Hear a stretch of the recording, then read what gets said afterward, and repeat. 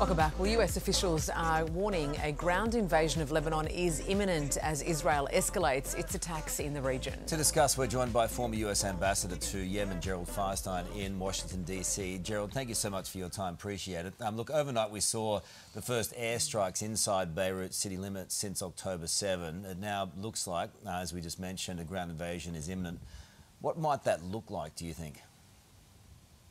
Well, it's uh, you know so far, of course, the speculation is that uh, is that the Israelis will try to limit it. It's going to be uh, only probably in South Lebanon, uh, maybe up to the Litani River, which, as you know, is is kind of a a key uh, dividing point in Lebanon. There was a UN Security Council resolution in 2006 that called for Hezbollah to be north of the Litani and the Israelis may try to uh, to push them uh, to that side. So, so we'll see. Over decades past, we have seen tensions escalate between these two neighbours, right? So, what makes this time different?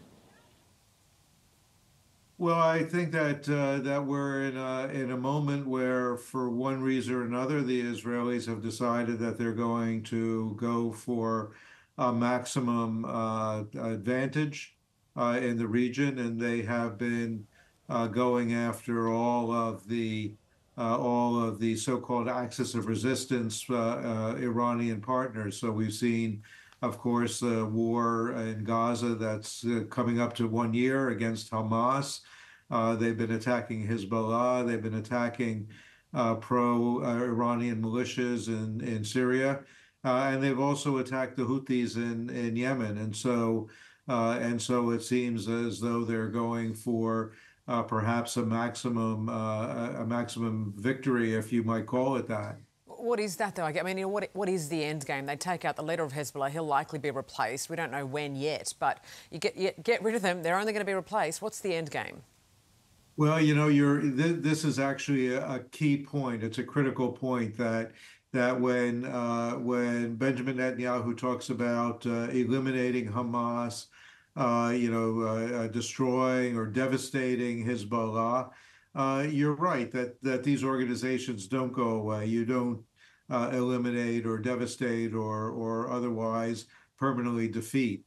Uh, and so, you know, the problem that the Israelis have is that they have been pursuing these military campaigns for 75 years without ever getting to the end state, which would be a safe and secure and peaceful uh, Israel and a peaceful neighborhood.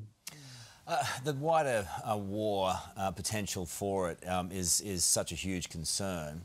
Um, why do you think Iran's been pretty quiet?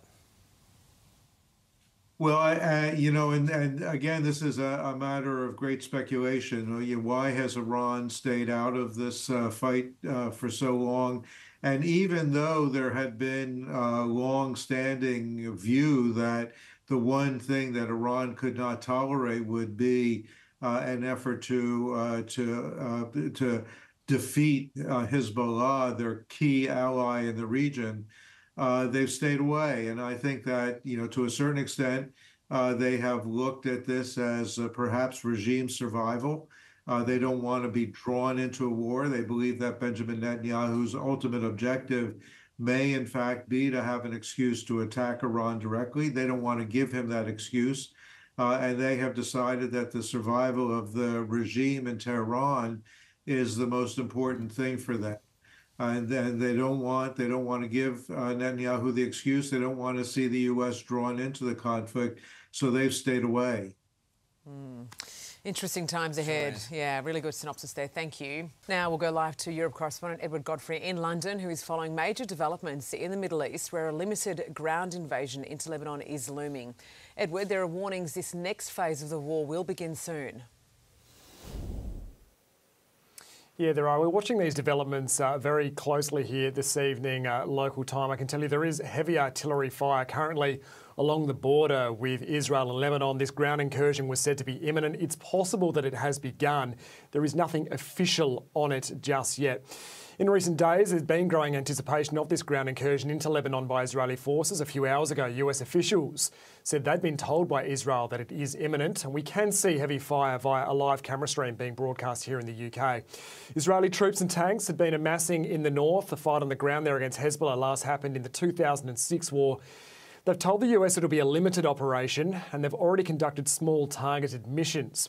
This, as the death toll from strikes in Lebanon keeps rising. There have been funerals in Sidon, in southern Lebanon, where more than 30 people have been killed in strikes, and digging through the rubble for potentially trapped survivors continues. Israeli Prime Minister Benjamin Netanyahu has spoken, saying Israel is in fateful days fighting for its survival and warned Iran there's nowhere his forces can't reach. When asked about this Middle East situation, US President Joe Biden made his feelings clear. Israel may be now launching a limited operation into Lebanon. Are you aware of that? Are you comfortable with their plans? I'm more aware than you might know, and I'm comfortable with them stopping. We should have a ceasefire now. Thank you. Earlier, Hezbollah's deputy leader spoke for the first time since uh, the former leader Hassan Nasrallah was killed in a strike on Friday local time. He said that Hezbollah is ready for a ground incursion by Israeli forces. Everyone now watching to see uh, exactly what happens over the coming hours.